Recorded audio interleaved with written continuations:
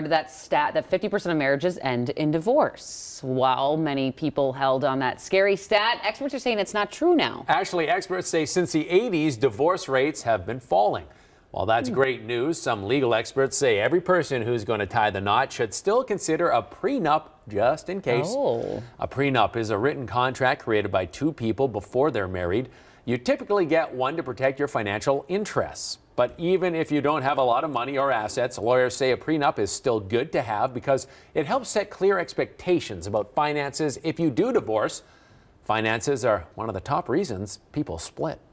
I tell clients it's almost like an insurance policy where you hope that you never have to use it, but it's always there to fall back on in the event that you do. All right, so what happens if you have a prenup and get a divorce? Well, it depends on what your prenup says and what both people agree to do. But as long as the agreement is considered valid by a judge, how you divide your assets, liabilities, and debts will be held up in court.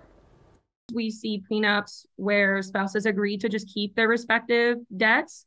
Um, and so in those instances, they would identify in the prenup um, what debts they currently have, and those would remain their individual debts uh, as long as they don't intermingle it. And then any joint debt uh, in these kind of more common prenups would then simply be subject to the standard Minnesota divorce laws.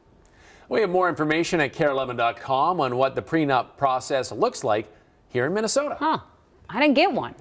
Yeah, I mean, Now I'm reconsidering. well, it's a t- you know a My husband's at home watching, like, what? tough thing to consider, right? Because obviously you want to protect your financial assets, but then if you ask somebody for a prenup, they might just tell you take a hike anyway. Right. Did you get one? You said. No, I oh, didn't Oh, you get didn't one. get one? No, hmm. if I would have asked her to sign a prenup, she would have told me to hit the bricks. Hit the bricks, Yeah, and then which I mean, eventually she told me anyway. happen. That did but you know.